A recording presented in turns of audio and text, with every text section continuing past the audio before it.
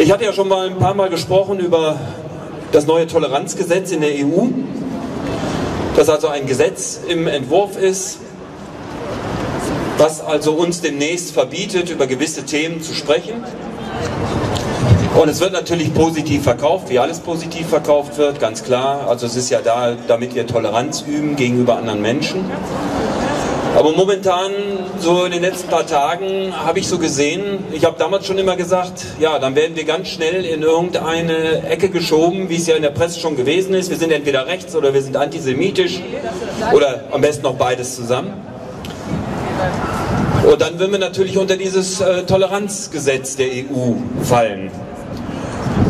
Und es war bei äh, Maybrit Illner letzte Woche, da war unter anderem zum Beispiel Oskar Lafontaine war da und von den Grünen die Frau Göring-Eckert. Mal ganz kurz dabei gesagt, dass sie auch zur Atlantikbrücke gehört. Sollte man dann einfach auch wissen. Die also den Oskar Lafontaine halt mehr oder weniger angriff, wie es denn sein kann, dass die Linken und in der Person die Frau Wagenknecht zu der Demo am 13.12. in Berlin gegen Gauck aufruft. Denn dort wären ja nur Rechte und Antisemiten. Und wer hat dazu aufgerufen? Das ist der Friedenswinter. Das ist eine Kooperation zwischen den alten Friedensbewegungen und den neuen Friedensbewegungen, also unseren Mahnwachen bundesweit. Ein Zusammenschluss.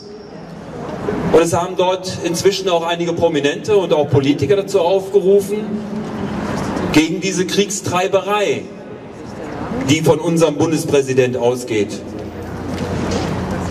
Und vielleicht sollte man da auch einfach nur wissen, so für den Hinterkopf, dass, dass auch unser Herr Gauck zur Atlantikbrücke gehört. Und genau das ist das Risiko, was ich schon vor Wochen zu diesem Toleranzpapier geäußert habe. Dort treten die Grünen jetzt auf und diskriminieren diese Demo von der alten und von der neuen Friedensbewegung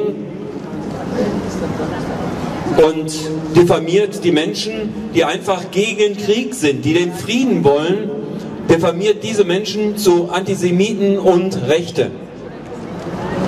Genau hier würde wieder genau dieses neue Gesetz greifen. Das heißt, man will jede Gegenmeinung gegen dieses System einfach mundtot machen. Und dazu müssen wir aufstehen und ich finde es ganz schlimm, dass was aus den Grünen geworden ist, dass sie also mittlerweile eigentlich mehr für Krieg stehen, pro Krieg, als für Frieden. Und damals war es damals die, die, die absolute Friedenspartei, die Grünen, und mittlerweile für mich eine der groß, großen Kriegstreiber auf dem Parkett. Und wer kann, wer die Möglichkeit hat, wie gesagt, am 13.12. ist also dann die, die Demo in Berlin für den Bundeskanzleramt und dann geht es zum rüber zum Schloss Bellevue gegen diese Kriegstreiberei von Gauck.